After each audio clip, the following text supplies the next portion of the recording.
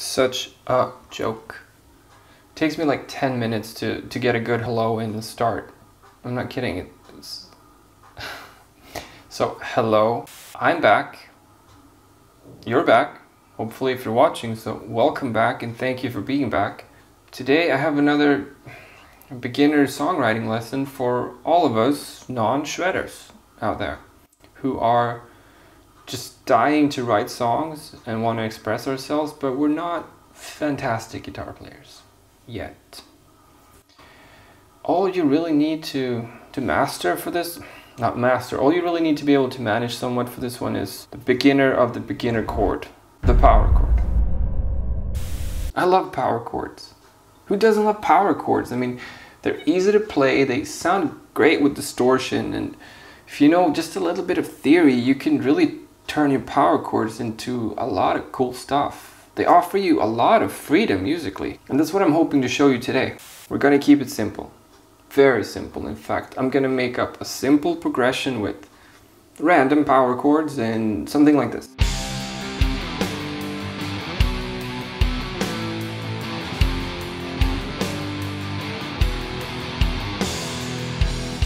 In and of itself, that's almost already a simple rock or punk song. Now, the rules are as follows. I'll keep the same drum beat, same guitar DI, same bass even, and then just add stuff to it to see what kind of moods we can create from this one guitar take. As simple as it gets.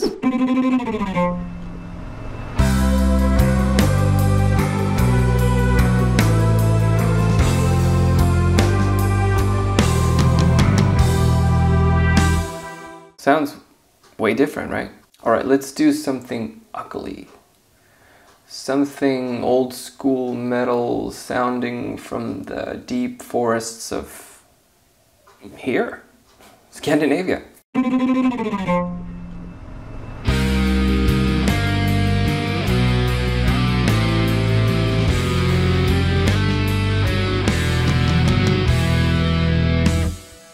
Not your cup of tea? I don't blame you.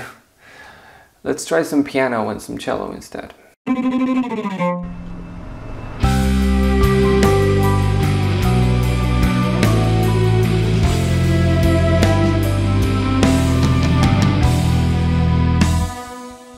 Quite different from the one before, wouldn't you say? Alright, last one. Something weird.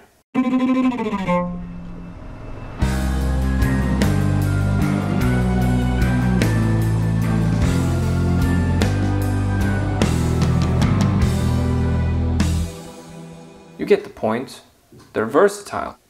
Now, if I had changed the drums, the bass, the, some of the rhythms, but kept that same progression, it would have sounded a lot better, obviously, but rules are rules.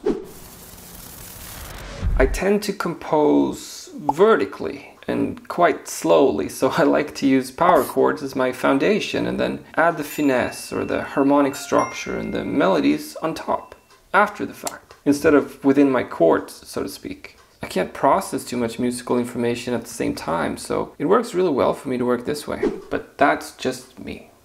I have a very limited brain for music, unfortunately, but hopefully you see the power of the power chord and the potential of the power chord and even as a beginner beginner guitar player the you can really write some cool stuff with just power chords as long as you know a little bit of theory and or you play another instrument or you sing, you can complete the chords with your voice even.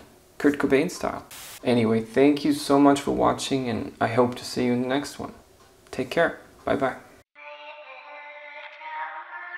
We're gonna keep it simple. Very, very simple in fact. I'm gonna make up... Ah, crap.